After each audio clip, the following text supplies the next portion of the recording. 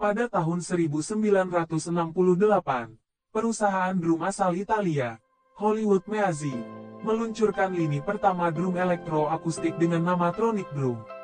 Saat itu, drum tersebut dijual seharga 1.300 dolar USD, setara dengan sekitar 9.700 dolar saat ini.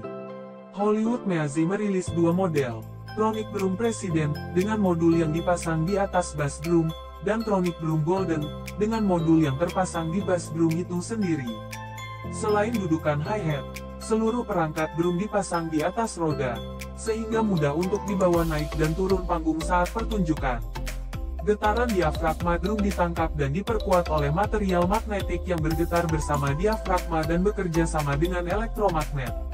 Dalam satu perwujudan, pelat material magnetik dipasang di bagian tengah diafragma drum dan diatur untuk bekerja sama secara magnetis dengan kumparan, yang dihubungkan melalui kabel ke amplifier.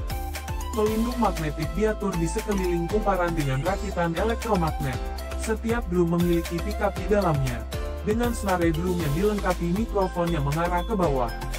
Bass drum dan tom dikontrol oleh bagian modul yang sama, sedangkan snare dipicu secara terpisah.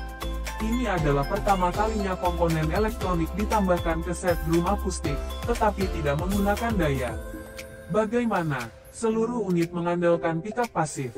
Drum ini muncul sebelum munculnya jack headphone dan in-ear monitor, sehingga para drummer harus menggunakan speaker berukuran penuh untuk menyiarkan dan mendengar suara yang diperkuat.